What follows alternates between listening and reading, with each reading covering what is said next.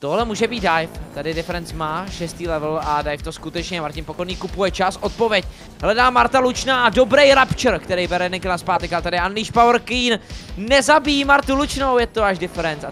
Tady dostane trochu poškození, Marta Lučná to ještě otáčí, ultimátka jen.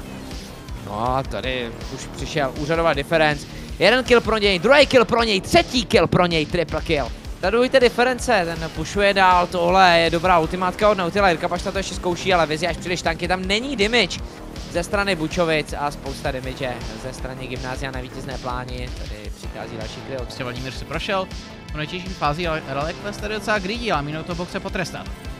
No, Lekles, tak uh, ten tady dostal, chtěl se navíc bere Kite a ten Drake je smajtnutý od Mino, topa, to je katastrofa. Tady už dorazí další volné a GVP jdou divovat. Oh, Kán tam opravdu skáče do pěti, Jan Zelinka. Mezi tím umírá zabíjo difference a Ken, tak ten vyzounil všechny ostatní hráče. Kite si poradil s Martinem Pokorným. Honzík směřuje na botlane a jdeme divovat. No, dobrý flash, přišel od trojvoje, pak je pěkná bublina, Stuchlaj zde dál, zatímco Honzík tankuje, stačilo to. Výborně to tady udělali. Stuchlaj zde rovnou do té ultimátky používá Quicksilver, tady je 0 Honzík, dobrý cyklon, kupuje čas Stuchlaj. Už zabíjí jednoho hráče, druhý kill, a i když Loxim používá dobrou ultimátku, damage tam není, double kill pro Stuchlaj až teď. Na ní může Diana reagovat, ale damage tam prostě není, 0 Honzík zabije Michaela, Stuchlaj nepřežije, Junglis mají waifu, on nakonec bere, ale to je poslední živý hráč svého týmu, whoever a Past ho budou nahánět. A taky, že ho i doženou. Navíc tam padne i ten Drake. A tohle je skvělá práce. Pak to bude hodně třeba o Gwen. Tady Nula Ondík používá velmi dobrý klona. Skvělý Cyclone.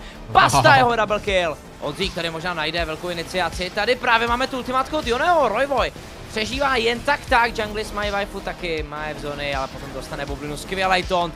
Rovnou do Cyclonu parádní kombo. Z boku ještě přichází past ultimátka která půjde na Michaela, ten taky umírá. Už tam došel i Sion, možná spíš eh, tady tři inhibitory tady. Navíc ten damage, který půjde do turet. Vlogs Games to zkouší, nemá damage, dostává Sketterový, dobrý skok od Honzíka, rovnou po Vibeovi, Vibe zatím žije, ale jen tak tak a Whoever Than Me, ten pokračuje pushy.